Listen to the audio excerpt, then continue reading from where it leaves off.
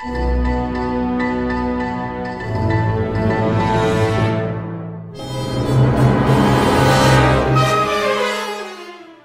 everybody, welcome to another edition of the Lab 207 webcast. My name is Mr. Kite and I'll be hanging out with you today.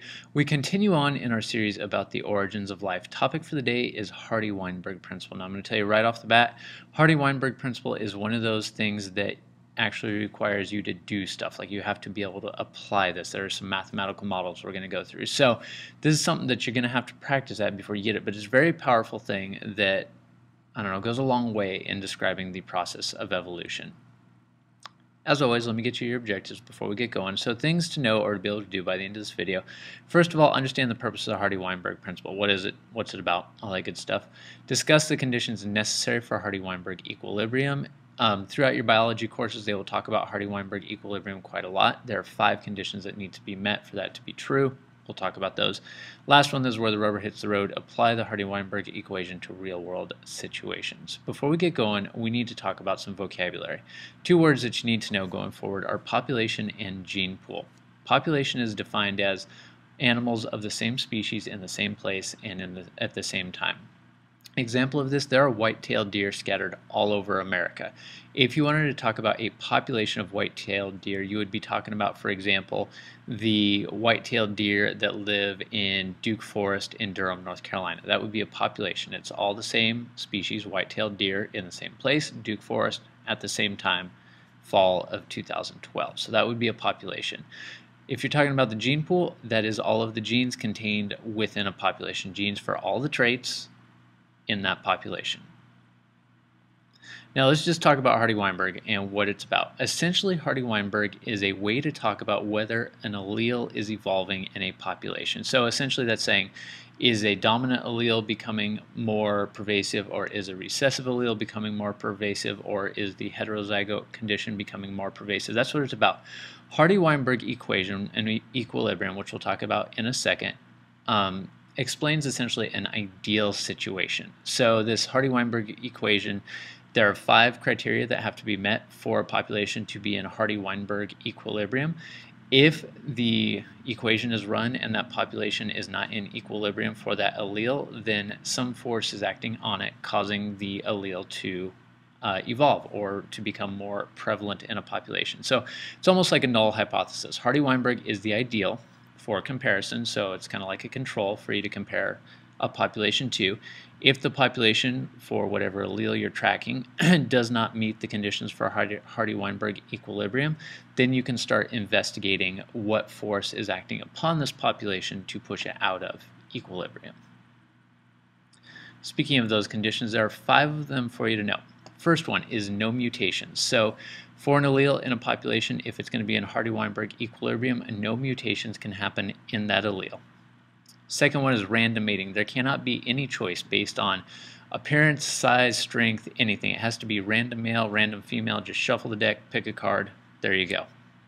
Third one is no natural selection. So there are no forces of selection acting on this ideal population at all. Fifth one, if it'll come up, fourth one, if it'll come up, extremely large population.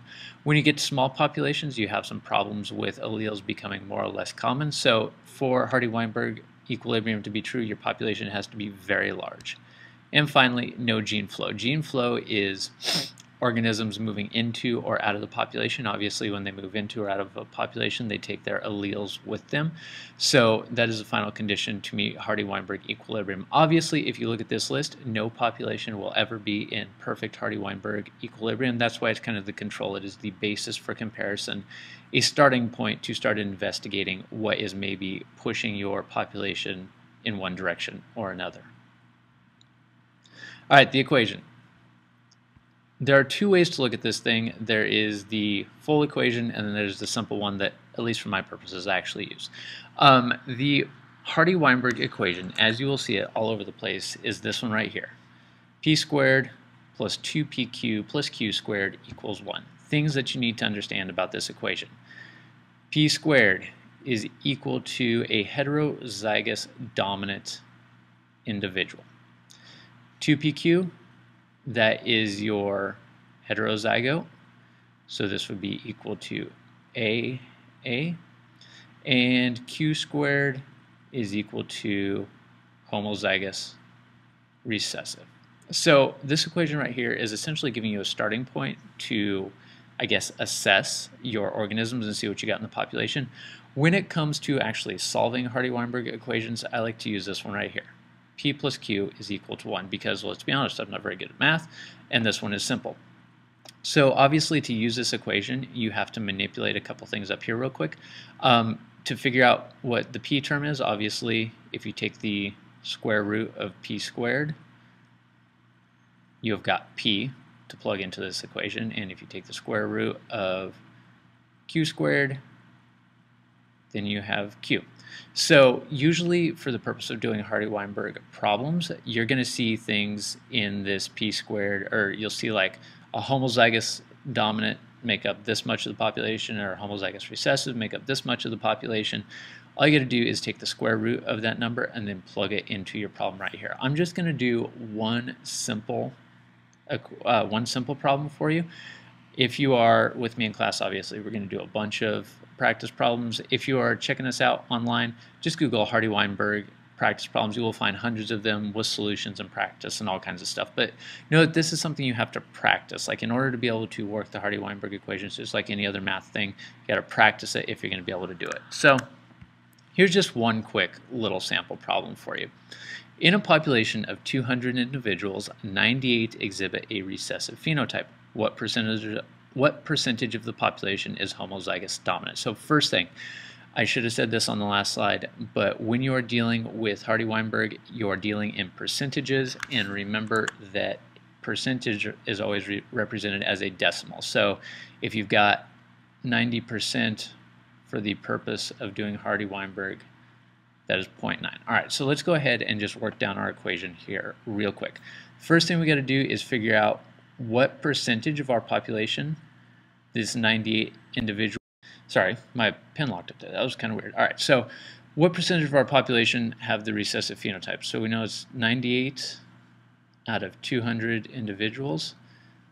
So that means that 0.49 or 49% of our population are little a, little a. All right, so that's the first part. We now know that this is equal to q squared. So in order to work our p plus q plus 1, remember p plus q is equal to 1, we got to find the square root of this right here, 0.49. So if we say that q squared is equal to 0.49, take the square root of 0.49, we know that q is equal to 0.7. And then from there, just a little simple math. We know that, again, p plus q is equal to 1. So p plus 0.7 is equal to 1. So this means that p is equal to 0.3. Final step, we need to figure out what, because ultimately they want to know what what percentage of the population is homozygous dominant. We know that homozygous dominant is big A. Big A, also, we know that that is P squared. So we need to take 0.3, square it, that equals 0.09. So this means that 9% of our population is big A, big A. All right, so that is how you would figure that out. Now, if we wanted to know the heterozygous condition, there are two ways we can do this. We said that we know that 49, well, let me clear my board real quick.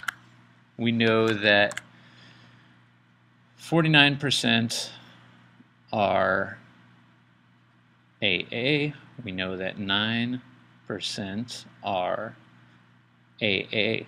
So if we want to know how many are heterozygous, two ways to do this. One, you could do simple math. Just add 49 plus 9 and then subtract that from 100 and that would tell you how many are heterozygous because you got to equal 100%. Or you could do it like this. If you remember from the equation 2pq is equal to the heterozygous condition, we know going back that p was equal to 0.7. We know that q was equal to 0.3. So if we take 2 times 0.7 times 0.3, that is going to be equal to, let me see, there we go. It's going to be equal to 0.42. So we know that 42% of our population is heterozygous. Obviously, if you do a check on that, we're missing a percentage point, I believe. Nope, we're good. So that is how you would find out the heterozygous condition. Like I said, this is something you're just going to have to practice. Google Hardy-Weinberg practice problems. You will find tons of them. I will see you in class. We can talk about it there. My name is Mr. Kite. Thanks for joining us. This has been the Lab 207 webcast. We'll see you again.